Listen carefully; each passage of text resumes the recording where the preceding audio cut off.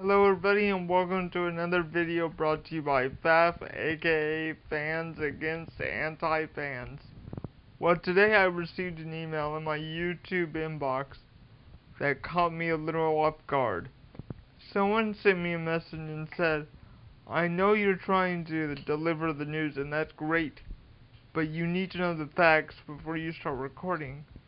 Did you know the lawsuit between SM Entertainment and TVXQ? Well, no, I did not, but here's my opinion on that. Yes, SM Entertainment has been under fire in the past, but those ended up being rumors. And here's another thought I have.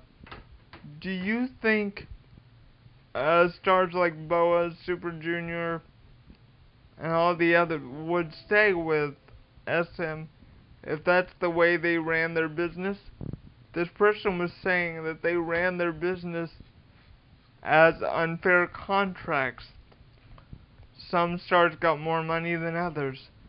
I do not believe that Mr. Lee Soo-man would run his business like this, and I don't think Boa would stay with a company for nine years if that's the way they ran their business.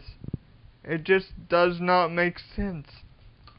So I think this is just another story blown out of proportion by anti-fans so they can get more publicity. And I I do not like it. So I want you to look at me very closely, anti-fans.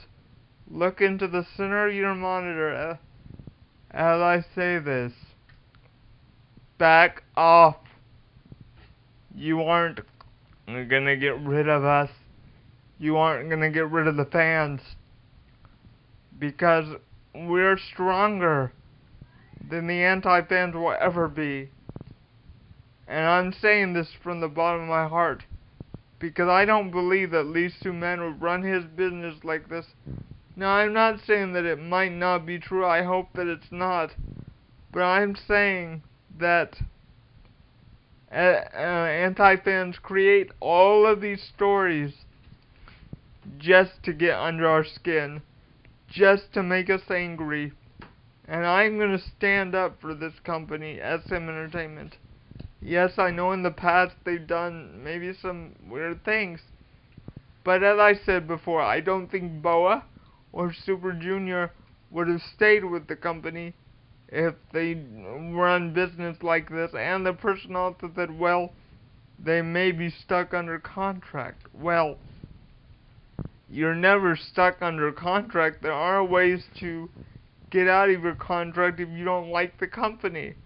I mean, I don't think SM is like this. I mean, and then this person went on about 2NE1 and and YG Entertainment and said they're not very good either. I mean, are you freaking kidding me?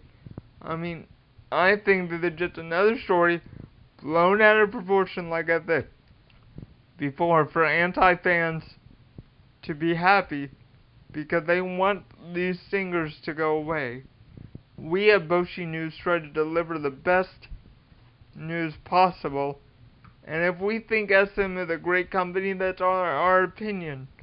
And you have the right to your own opinion, anti-fans, but I do not believe this lawsuit between uh, TVXQ and SM Entertainment because if it was true, the company probably would be shut down. I mean, and like I said before, I don't think Boa would have stayed with the company for almost nine years of her life. She she had been there since she was freaking 13. Okay.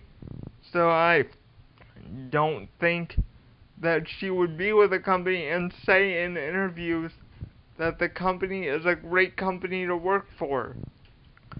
I mean, many SM artists have said that. It is a family. They are a great company to work for. And I would be honored to even work for them someday. Maybe as a manager, maybe as a talent scout. I don't know, but I would be honored to work for Mr. Lee Soo-man and SM Entertainment or YG Entertainment. I don't care which company I work for. I just want to help the music industry in Korea and Japan.